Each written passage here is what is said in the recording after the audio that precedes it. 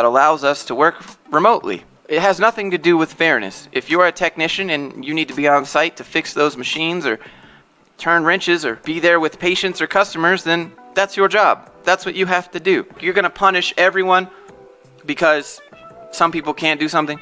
Like this is like the Marines or something, right? You don't think that will disrupt and divide